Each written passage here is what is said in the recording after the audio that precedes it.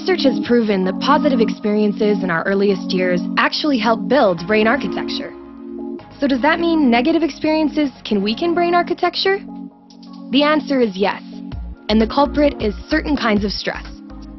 The body and brain respond to stress by raising the heartbeat, pumping out adrenaline, and sending out stress hormones like cortisol, preparing us to act in a crisis. One kind of stress, called positive stress, is beneficial. It's normal and healthy for children to face challenges like meeting new people or attending the first day of school. The stress responses triggered by these events are usually short and not too severe. This kind of stress is positive because it prepares the brain and body for stressful situations later in life. There are kind of these multiple faces of stress. So we have kind of what we call good stress, which is this kind of controllable stress in our lives, things like studying for a test, solving a problem. Um, at the time, we may not like them, but the reality of it is that we grow from them, we develop adaptive coping skills, and they kind of benefit us in the long run. Children surrounded by caring adults experience positive stress in ways that benefit and strengthen their brain architecture. It's how we prepare our brains and bodies for other stressful events that we will experience throughout life. Sometimes children face more serious events. Think of a bad accident or a tragedy like a death in the family or a natural disaster.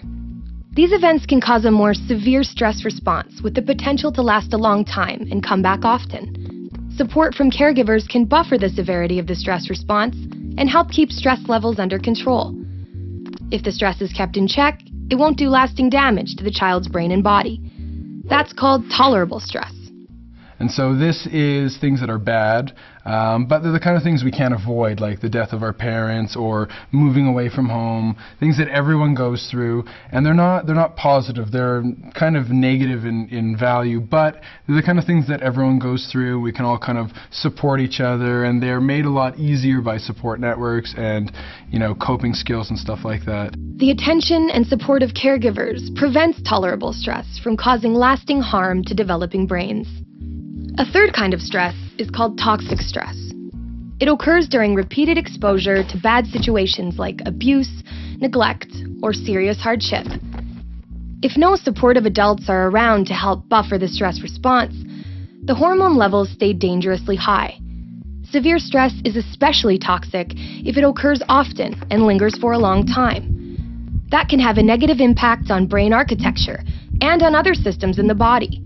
Toxic stress can cause serious health problems later in life. These are things that are like pervasive, uh, typically very uncontrollable and unpredictable.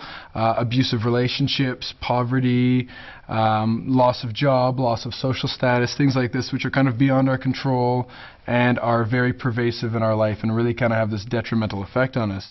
Toxic stress can weaken developing brain architecture and damage other body systems in young children.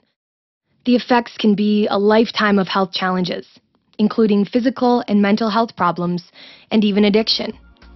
To ensure a healthier future for our families and communities, we need to work together to support caregivers and children, prevent toxic stress, and provide the kinds of nurturing experiences that build healthy brains and bodies.